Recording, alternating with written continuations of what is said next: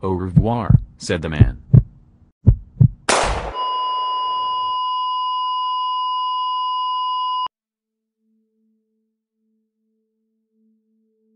I am glad to make your acquaintance. Is it true, asked Alan, that you have a certain mixture that has er quite extraordinary effects? Here, for example, interrupted the old man, reaching for a bottle from the shelf.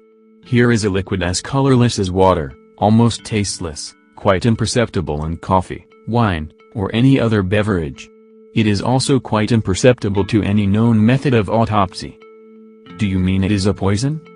Call it a glove cleaner if you like, said the old man indifferently. Maybe it will clean gloves. I have never tried. One might call it a life cleaner. Lives need cleaning sometimes. Probably it is just as well, said the old man. Do you know the price of this? For one teaspoonful, which is sufficient, I ask $5,000. Never less. Not a penny less. I hope all your mixtures are not as expensive, said Alan apprehensively. Oh dear, no, said the old man. It would be no good charging that sort of price for a love potion, for example. Young people who need a love potion very seldom have $5,000. Otherwise they would not need a love potion. I am glad to hear that, said Alan. So, said Alan, you really do sell love potions? Their effects are permanent, and extend far beyond the mere casual impulse. But they include it. Oh, yes they include it. Bountifully, insistently. Everlastingly. For indifference, said the old man, they substitute devotion. For scorn, adoration.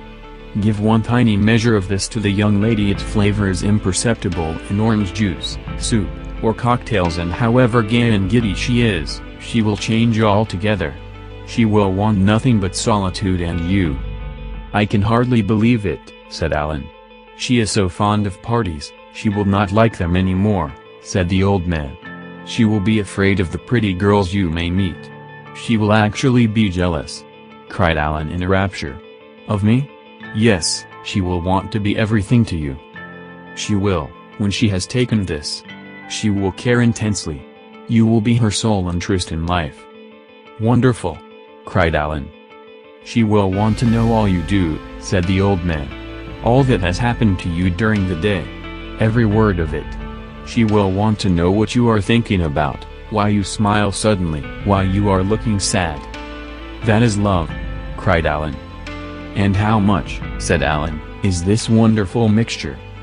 It is not as dear, said the old man, as the glove cleaner, or life cleaner, as I sometimes call it. No. That is $5,000, never a penny less. One has to be older than you are, to indulge in that sort of thing. One has to save up for it. But the love potion? said Alan. Oh, that, said the old man, opening the drawer in the kitchen table, and taking out a tiny, rather dirty-looking phial. That is just a dollar. I can't tell you how grateful I am, said Alan, watching him fill it. Here you are. You will find it very effective, said the old man. Thank you again, said Alan. Goodbye. Au revoir, said the man.